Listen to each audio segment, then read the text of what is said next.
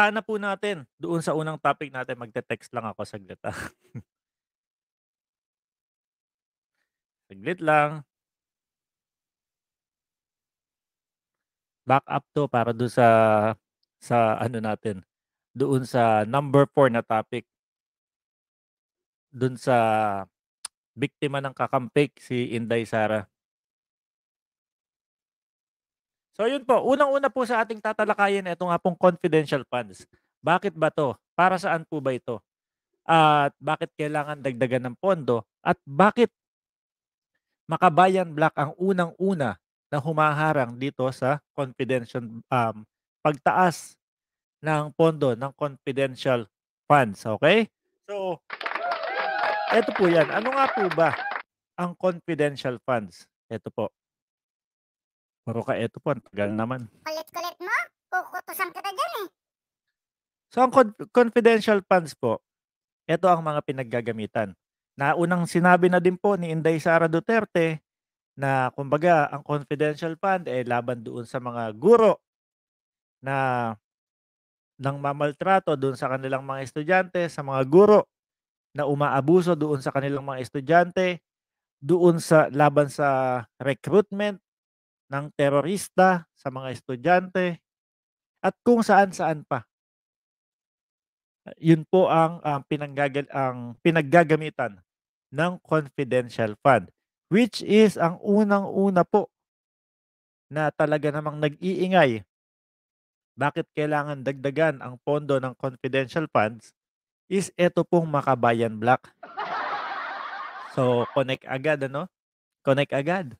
So, alam naman po natin na ang VP, Inday Sara Duterte, eh, gusto niya talagang or wala talagang awa doon po sa mga kalaban ng gobyerno natin. Wala talaga siyang sinasa wala siyang gustong santuhin. Doon po sa umaabuso sa mamamayang Pilipino. Kaya po sabi ko, ah, okey. Kaya naman pala etong Makabayan Black is todo naman todo todo aray talaga, eh. Todo ngawa sila. Bakit kailangan ano, bakit kailangan dagdagan pa ang pondo niyan, 'di ba? So, parang gusto niya lang ako, ah, pagkakaintindi ko, bago tayo madenggoy nitong mga 'to, parang gusto nilang ipaalam sa'tin, ipabatid sa'tin o unahan tayo na yang confidential funds is, um, kumbaga, um, dahil nga confidential, hindi ma-o-audit 'yan, hindi malalaman kung saan ginamit yung mga, um, pondo, ano. So yun yun yung gusto nilang ipamuka sa atin. Para naman sa gano'n, naku, etong si VP Sara mukhang may tinatago, mukhang may gustong mukhang gustong kumarap, ah. So, unahan na po natin.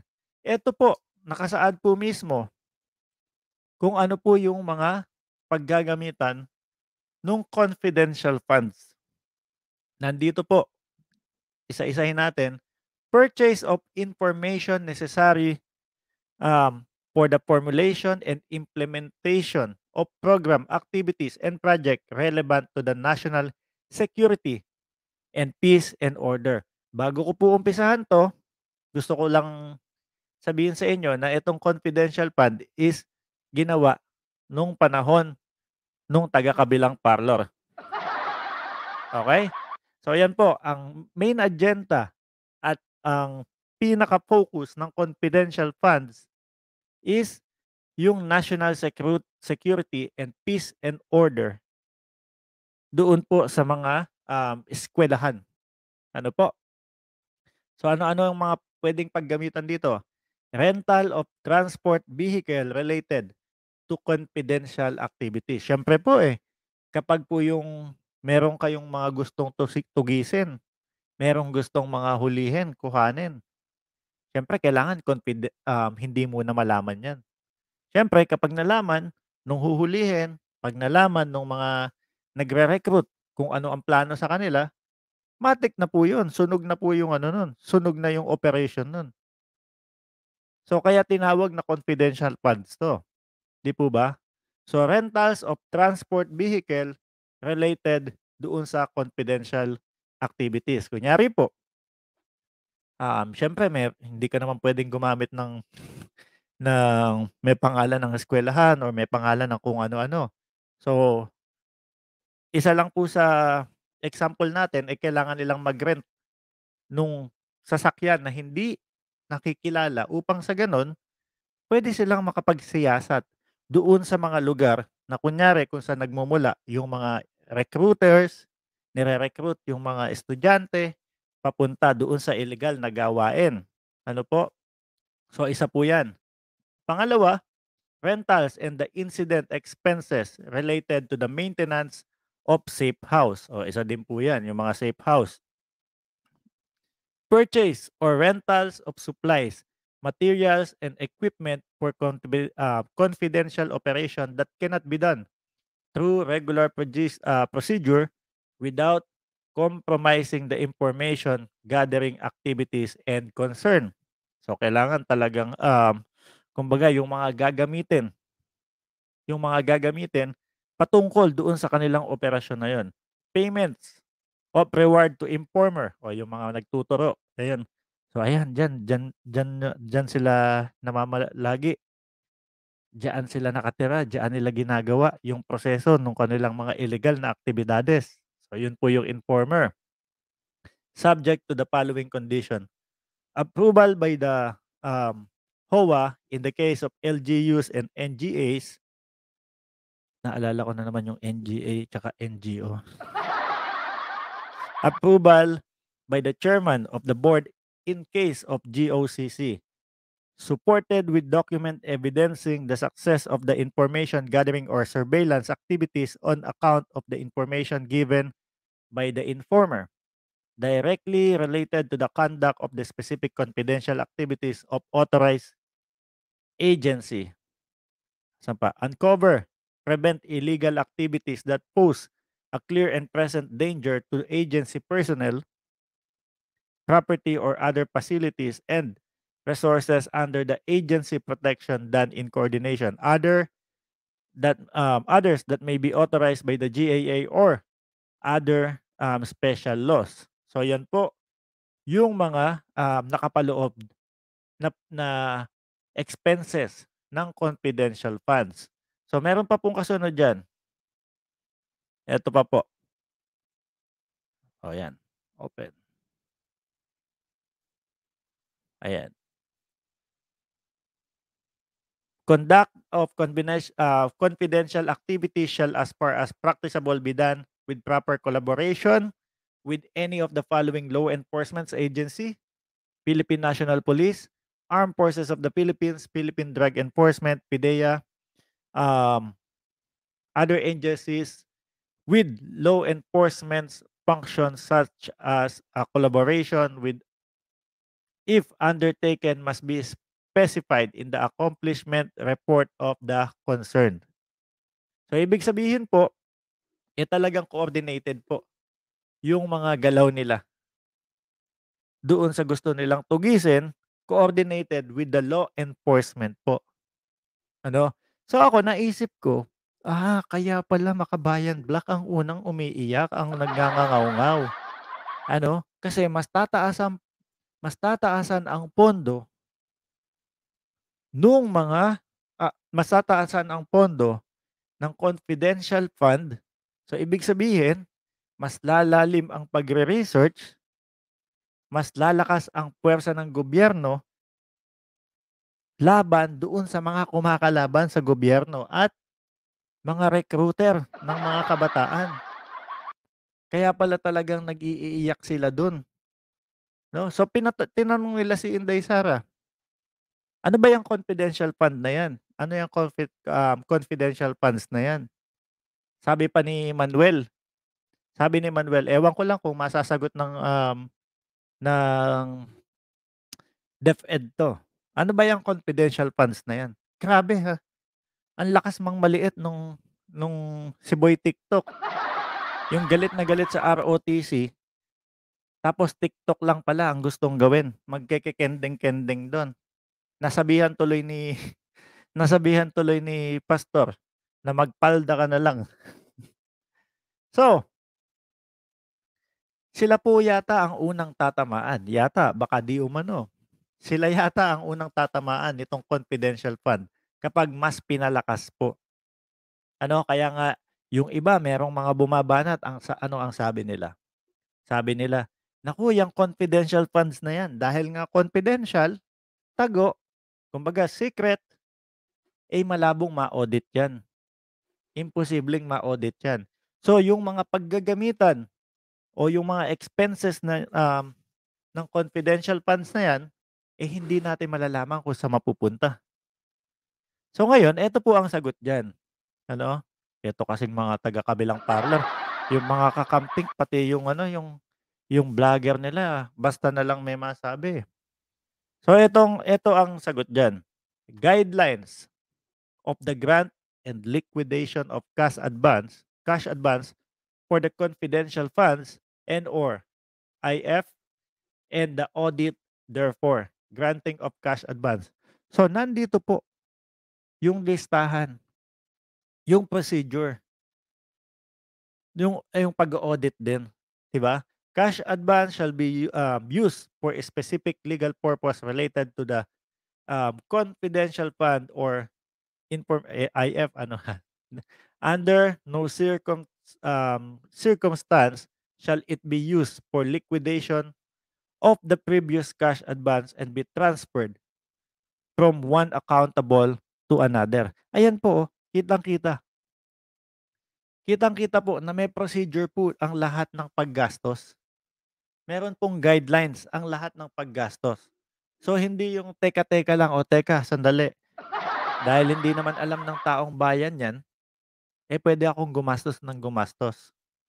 So sa madaling salita, mga kaibigan, mga kababayan, pwede nilang gamitin yung word na confidential para linlangin tayo. O tingnan nyo, confidential. Ibig sabihin, sila-sila lang ang nakakaalam. Sino po ang mga nakakaalam dito? Presidente, Senate President, Vice Presidente, at yung iba pa po na talagang mga high ranking. Ano? Confidential, ibig sabihin ng confidential na word, na confidential funds, is dahil yung proseso o yung mga ginagawa o mga pinagkakagastusan nitong funds na 'to is hindi puwedeng ilathala kahit doon sa mga regular na mga teacher, kahit doon sa mga, um, kumbaga mga simpleng trabahador nung eskuwelahan or kung saan man. Siyempre ipapaalam mo sa lahat, eh, di ang bilis. Sunog agad yung ano nila, yung sunog agad yung kumbaga tinatrabaho nila. Ayan po ang haba, hindi ko na babasahin lahat. Cash advance shall be limited to the requirements of 3 months. The dis um, disbursement voucher shall clearly state duration of implementation of the project if the implementation blah, blah, blah, blah, blah, blah. Hmm. Kumpleto po, rekado. Kaya yung iba, lalong-lalo na doon sa vlogger nung kakamping. Ano, yung vlogger na kakamping na sinasabi, "Naku" Yari tayo diyan, hindi natin malalaman kung saan ginastos ang pera. Ayan po, meron. Nandiyan po lahat. Ang liquidation, nandiyan po yung, um, audit, pag-o-audit kung saan at kung um, kung saan ginasta yung pera at kung saan lang pwede gamitin yung pera na yun, ano? So ngayon po nagduduktong-duktong, eh. Ang Pangulong Bongbong Marcos Kasama po si Congressman Sandro, 'di ba nga po may interview sila na mas palalakasin natin ang NTF-ELCAC. Tapos ang Vice Presidente naman po, alam naman po natin na talagang gustong durugin yang mga yan. Yung mga kalaban ng gobyerno natin, lalong-lalo na yang mga taga-kabilang bundok na yan. Kabilang bundok eh, no? Ak yang Yang mga taga-kaliwang bundok na yan, makakaliwa na nakatira sa bundok. 'Di ba? So alam ng Inday Sara Duterte ni BP na dito nagmumula ang problema. Sa mga eskwelahan. Sa mga eskwelahan, um, doon nagsisimula yung mga rekrutan, doon nagsi doon nagsisimula yung mga paghimok sa mga kabataan na magbitbit ng placard sa kalsada. na magbik na magbitbit ng mga tarpaulin, gumawa maging artist, gagawa ng effigy ng pangulo, tapos susunugin. Alam na alam ni Inday Sara Duterte, ni BP, na dito nagmumula. So, dahil nga dito nagmumula ako napansin ko lang, ah, eh, siyempre ngangawa yung mga, ah, tatamaan. Ngangawa yung mga posibleng, um, mayari, 'di po ba? Diyan nahuhuli ang isda, eh, sa bibig, eh, oh. Ay etong etong mga 'to, lalong-lalo na si si Manuel. Ayaw na ayaw sa ROTC. Ano pa? Yan naman confidential funds. Lahat nung, um, anong tawag dito? Lahat nung mga sinusulong ng gobyerno para labanan yung terorista sa bansa, para labanan yung mga rekrutan sa bansa. Eh, ayaw na ayaw nitong mga tao na 'to. Ako, ah, bilang sariling opinyon ko lang, napapansin ko lang sa kanila, kung ano pa yung mga gandang ginagawa ng gobyerno natin, eh, nandiyaan po agad sila. Asahan niyo. Hindi hindi magmimintis, hindi a-absent 'yan. Nandiyan agad. NTF-ELCAC ayaw niya. Hmm, ROTC, dahil nga siyempre kapag ang ROTC medyo na-spread doon sa mga kabataan, na-spread doon sa mga eskuwelahan magkakalo magkakaroon ng knowledge yung kabataang Pilipino. Ah, sandali. Eh, mas okey itong ROTC. Ayoko diyan sa ano, sa magbitbit ng placard. 'Di po ba? So, eto nga yung binabatikos nila, na dagdag pondo, mas lalakas po kasi talaga yan, eh. Mas lalakas, mas lalalim. Siguro yung, um, pinaka the best na sabihin dito is, mas madudurog sila. Ano po? Mas madudurog sila doon sa kanilang mga pinaggagagawa. Ang BP po natin matalino, naniniwala po ako. Kaya nga po umaaray etong mga 'to, eh. Sasabihin nila sasabihin ng sasabihin ni Manuel um, si Inday Sara ang pinakareyna na ng red tagging. Hmm. Aba, hindi. Yung red tagging na yun, ang sinasabihan mo yung Vice Presidente. 'Di ba? Napakalakas ng intel niyan. Talaga naman, ah, biruin niyo, um, nagsimula sa ating dating Pangulong Rodrigo Duterte. Ngayon po, itinutuloy ni Inday Sara at ni Pangulong BBM natin.